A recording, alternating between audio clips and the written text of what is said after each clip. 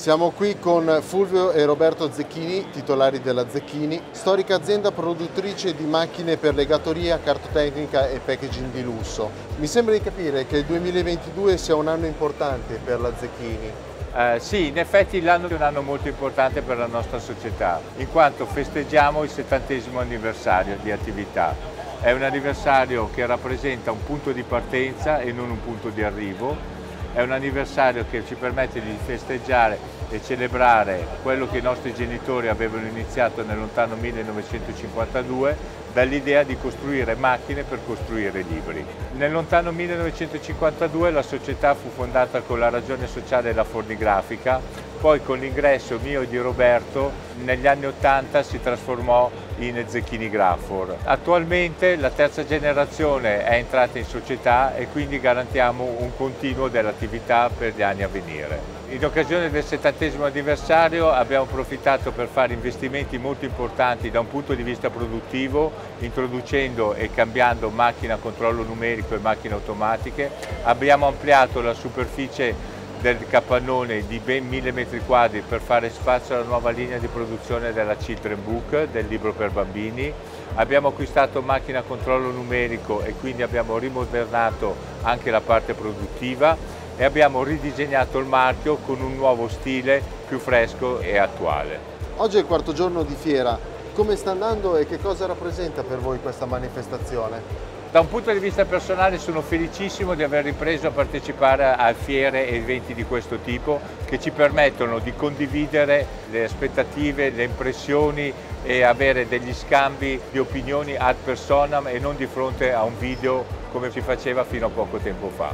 Per quanto riguarda la risposta della nostra clientela è stata una risposta più che positiva perché a causa del Covid abbiamo anche noi cambiato leggermente la strategia, non potendo viaggiare per l'estero abbiamo investito molto e abbiamo fatto sforzi di ricerca di mercato e di azioni di marketing per il mercato italiano. Questa fiera prevalentemente si rivolge al mercato italiano e l'affluenza che c'è stata e l'interesse dimostrato per le nostre macchine ci confermano che le scelte fatte a livello di comunicazione, a livello di prodotti sono state centrate e stanno riportando i risultati che ci aspettavamo. Dal punto di vista tecnologico, che tipo di sviluppi ci sono stati e quali novità tecnologiche avete portato? Il settantesimo anniversario ci ha caricato di entusiasmo e di idee per nuove iniziative. Una di queste che abbiamo presentato in fiera è la partnership che abbiamo attivato con Conica Minotta per un'azione di co-marketing per la presentazione di un packaging di lusso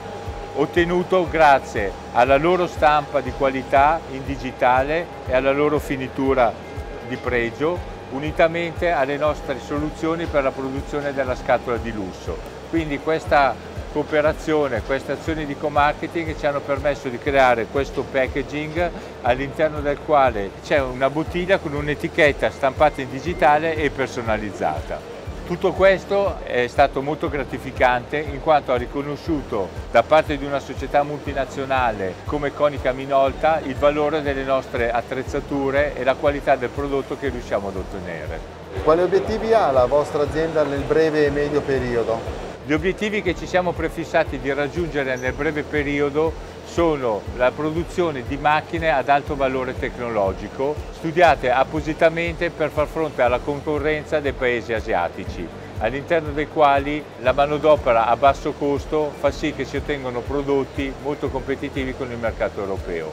A causa della pandemia c'è un ritorno delle produzioni dall'Asia all'Europa per motivi di costo, di tempi di consegna e di qualità del prodotto. Se vogliamo combattere contro i paesi asiatici dobbiamo combattere con la tecnologia che permette di abbassare i prezzi e aumentare la capacità produttiva e garantire una qualità costante della produzione nel tempo. A questo proposito abbiamo sviluppato una linea di prodotti per la produzione dei libri per bambini. Il libro dei bambini è costituito da pagine in cartone. Devono essere dei libri semplici, interattivi e molto resistenti.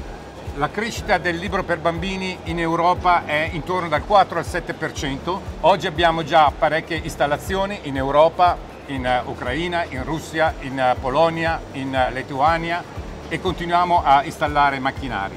Il vantaggio di questi macchinari è che riusciamo ad avere dei sistemi flessibili in cui possiamo personalizzare i macchinari per rendere il libro sempre più interattivo e sempre più vantaggioso. Puntiamo molto su un discorso di automatizzazione, il processo l'abbiamo reso completamente automatico in maniera da non richiedere nessun intervento manuale per riuscire a contenere i costi e essere competitivi nel prodotto. Qual è l'elemento caratterizzante della vostra partecipazione a questa fiera?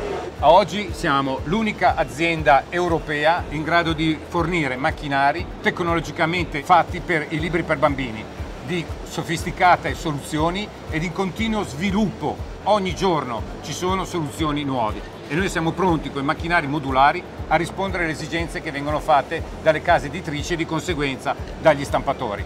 Cosa intendiamo noi per i libri interattivi? I libri interattivi sono i libri cui il bambino non deve leggere ma lo usa no, molto no, per giocare, per poter avere tante soluzioni per espandere la sua creatività nel gioco. Questi libri devono essere fatti in base a determinate regole di sicurezza per il bambino.